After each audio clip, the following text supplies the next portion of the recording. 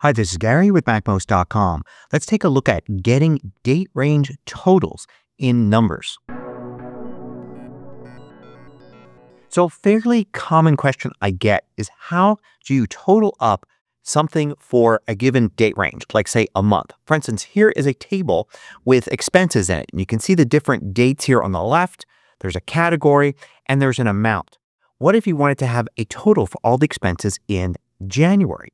Getting a total for the entire table doesn't work, and you don't want to divide this table up per month. That makes it hard to do calculations over the course of a year or doing calculations based on the expense category, things like that. So how can you easily get, say, the total for a given month? Well, a simple way to do it if you just need a quick answer is to select the range right here. I'm going to select all the expenses for January 2023. And at the bottom, you'll see a handy little sum there. But let's say you want to do it for all of these. Well, you can do that using a bunch of different methods. Let's start with one that uses a second table and some formulas. So here I've created a new table and I've set up a column for month and a column for the total for that month. Let's start by populating this first cell with the first month. And I'm just going to type it like this. And then I'm going to autofill it by selecting it and clicking that little yellow dot there and dragging down. And I have just enough cells here to get through the end of the next year, which is how many dates I've got. So now all I need here is the total. Notice these dates here, if I look at the actual values, it's the first of each month, January 1st, 2023, February 1st, 2023, and so on. It's just that the format for the cell is set to just show the month and year like that. So let's do the total. A function that will do it is sum ifs. This will get the sum based on various criteria we're going to use. In this case, does the year match and does the month match? So I'm going to do equals and then type sum ifs. And the first part of sum ifs is different than the sum if without the s. That's the column we want to use for the totals, which is C. So we put that in there first. So those are the values. Now we want to have the first condition, both the thing to test and the thing to match it to. So the thing we're going to test here is column A, the dates. And what are we going to match it to? Well, we want to match it to the year. So we don't want to just use the date by itself. We want to put a year function around it. So I'm going to actually type it like this, year with parentheses surrounding the column. So just look for the year. And then I'm going to compare that to the year. And again, using that year function there that extracts the year from a date. And I'm going to say this particular cell. So do the years match. Now we want a second set of conditions, and this is going to be month. Let's extract the month from column A and compare that to the month extracted from this cell. So do the months match. One more parenthesis to close the entire thing and a return, and you can see I get the value there. Everything where the month and year match in this column adding up these.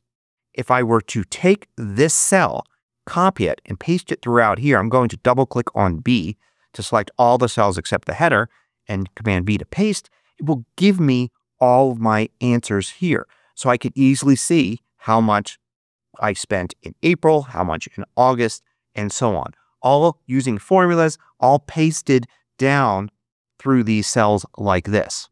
Now, there are actually two ways to do this that don't require you to use formulas at all.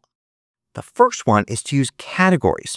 Categories is something that's been around in numbers for a long time and allows you to make sense of a table like this very easily. So what I'm going to do here is with the table selected, I could initiate categories a lot of different ways. One is to use organize here, and I can switch it on. I can set it to show groups for, and I'm going to use, instead of category, the date. So date there. You can see how it takes the column headings there. And by year, month. So group everything by the date according to year and month. And I'm going to turn it on. And you can see now it groups all of January together, all of February, March, and so on. I can click here to collapse all of the items for that month. I can hold the Option key down and click, and it'll collapse all of them. And Option click will expand all of them. Now I want the totals. So here under amount, if I click here, you'll see this little control. I can click that and it's set to no summary. Instead, I want to have it sum up everything here. And you can see there's the total and it appears for every group. So now I will option click here and I could see all of those sums like that. And if at any time I want to examine, say, May 2023, I can expand it to see all the individual items there. I can turn off categories go back to the regular table, add more to the bottom, and then easily turn categories back on to get the summary again. If you find these videos valuable, consider joining the more than 2,000 others that support MacMost at Patreon. You get exclusive content, course discounts, and more. You can read about it at macmost.com slash Patreon. Another way to do this without using formulas at all is to use a simple pivot table. So with this table selected here, I could go to pivot table here, but that will create a new sheet. I want to create this right next to the first table. So I'm going to go to organize and create pivot table. And this gives me the option to do it on the current sheet. So I see the pivot table that it creates right there. On the right, I see under organize, there's pivot options. I want to use the date and the amount. So I'm going to check date, check amount. And you can see here, it's going to summarize everything by year, 2023, 2024. What I want to do is go down here to where it shows date, click the I right there and say group instead of by year, by year and month. So now I get the totals for year and month like that. And I can really easily see what's going on here. I can easily add to this table and then update the pivot table with this button right here to have new totals or even adding new months to the bottom of it. I could even add category here it's going to add those as columns. So now I can see, say, for March 2023, I've got this much for advertising, this much for consulting, and so on all the way across, and then a total here for the entire month. Now, I don't want to spend much time on this, but you can use the new array and lambda functions to do this as well. So in this case here, in this table, I'm using a pretty complex function here that's going to map everything from the date column to a new array that's just the year and the month with using just the first day of the month there for the dates. Then it's going to look for unique values. So it'll just have one January 2023, not one for each row. And after unique, it's going to sort them so they're in order. And then I end up with all the dates here. I think a better way to do it is actually right here. This is using a make array function. It's using the lambda with the row index, taking the function eDate and starting with January 1st, 2023, and adding the row index minus one to it. So January 2023, then adding one month for February, one month for March, and all of that.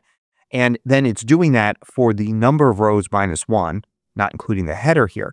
So it's basically just populating this with months. The advantage of this is if a month is skipped here, it won't be skipped here. It'll show up and we'll get a zero result. The actual total for each of these two tables is the same. It's starting with filter and it's filtering the expenses table by the date with the year, the month, and the first day, and comparing that to this column. So each one of these cells is just getting the rows for that particular month. And then it's using subtotal to get the sum of all of those rows. That's all part of a lambda function here that is inside of a map function. And this one function here populates the cells below it, just as these monthly ones populate the cells below it as well. So you end up with just two cells with formulas in them, these two uh, populate all the rows below. But if you're not into the new arrays and lambda functions, I get it. They're much more complex. That's why I talked about all the other simpler options first. I'll include this demo document with this post at macmost.com so you can take a look at all of these different options. Hope you found this useful. Thanks for watching. If you liked this video, click the thumbs up button below to let me know. I publish new tutorials each weekday. Hit the subscribe button so you don't miss out.